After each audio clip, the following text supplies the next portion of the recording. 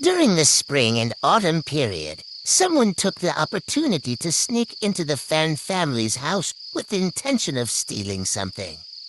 They noticed a large bow hanging in the courtyard and wanted to steal it, but they couldn't move it. After thinking it over, they decided to smash the bell. The thief found a large hammer and swung it at the bell. There was a loud bang that startled them. They thought, oh no, this bell sound is like announcing to everyone that I'm stealing it, isn't it?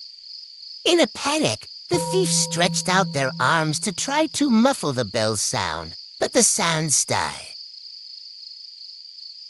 As they listened, fear grew, and they desperately covered their own ears.